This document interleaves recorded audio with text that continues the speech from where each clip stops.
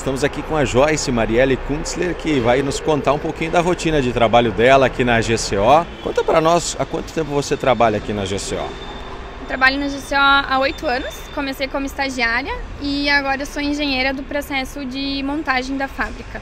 Certo. E o que você precisa fazer aqui dentro diariamente? É, basicamente a gente uh, faz o acompanhamento da produção e a gente trabalha principalmente com as novas iniciativas, né?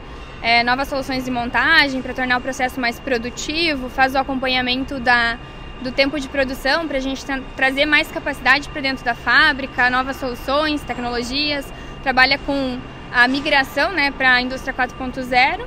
Basicamente são, são essas as, as operações do dia a dia. Legal, né? E você entende muito de robôs, é verdade?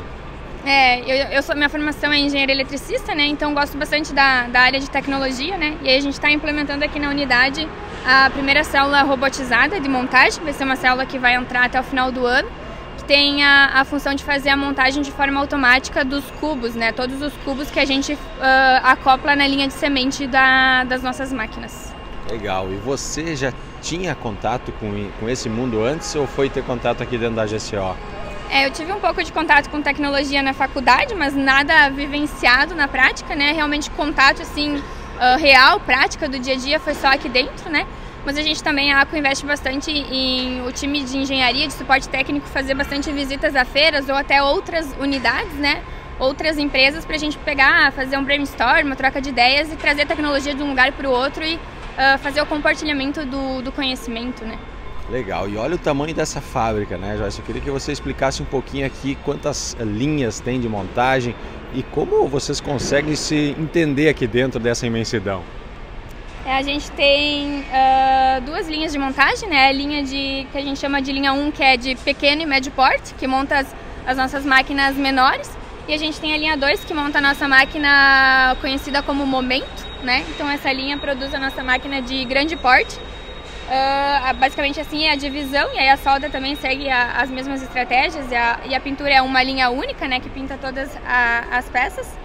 É, agora a gente está num período bem transitório, né, que a gente acabou de expandir, então a gente está fazendo as alterações de layout, é um, é um, um pouco uh, delicado a gente fazer as alterações, tem que uh, reestruturar, né, replanejar o plano de produção para conseguir conciliar a produção com as alterações do layout.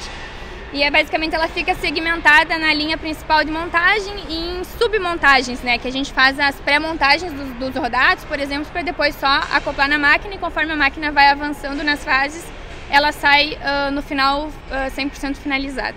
A rainha da fábrica é essa que está aqui no fundo a momento? Sim, é, a momento é a nossa máquina uh, maior, né? Foi o nosso último lançamento que é a, a máquina que está sendo bastante comentada né, e, e, tem bastante visibilidade no mercado. E é, é fácil de produzir uma Momentum ou ela desafia vocês todo dia a melhorar processos, a ser mais rápidos talvez?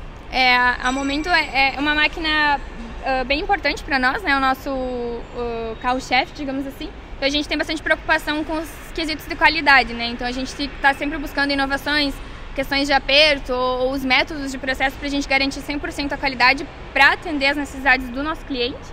E como ela está tendo bastante eh, visibilidade e aceitação no mercado, cada vez a gente tem mais venda dela e a gente tem que trabalhar ali com o aumento da eficiência para conseguir produzir cada vez mais essa máquina, porque ela está tendo um mercado muito, muito bom.